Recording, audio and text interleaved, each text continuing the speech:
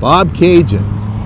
Nestled in the heart of the Kawartha Lakes region of Ontario, this place is more than just a catchy, tragically hip song. Stick around as we reveal the pros and cons of Bobcaygeon, one star at a time. Oh boy. You might be surprised to know that with the lakes, the locks, and the miles and miles of outdoor fun to be had, tourism isn't our main industry in the Kawarthas.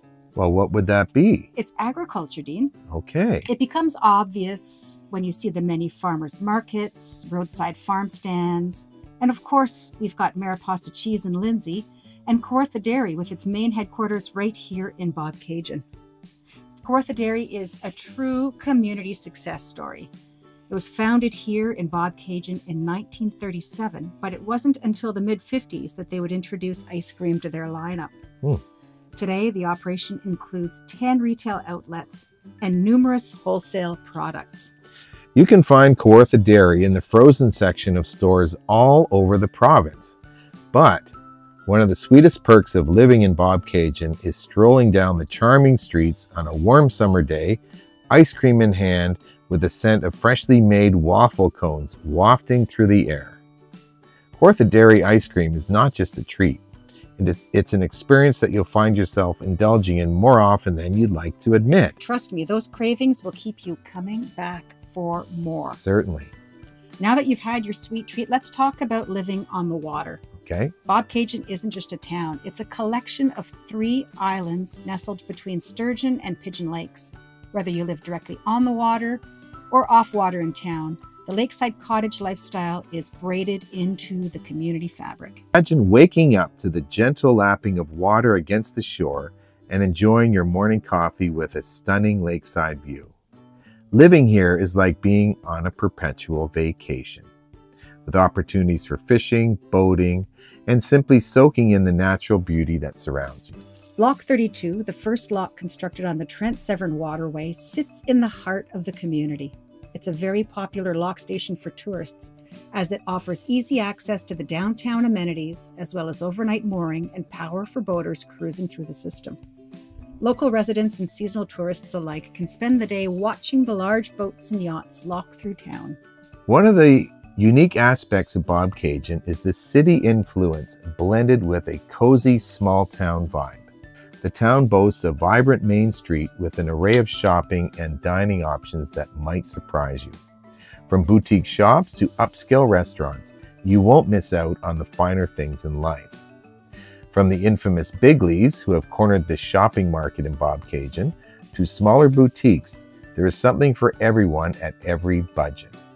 And whether you're in the mood for a leisurely stroll through local galleries or a gourmet meal, Bobcaygeon delivers.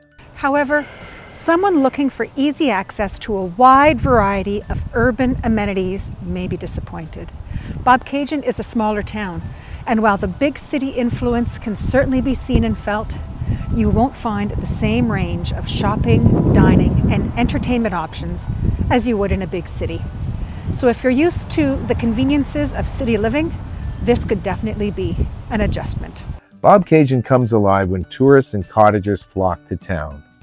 While the energy is infectious and there's always something happening, the increased crowds can also mean longer wait times and a bit of traffic.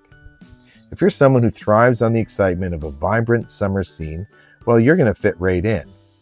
But if you prefer the tranquility of quieter moments, you might find these months a tad overwhelming.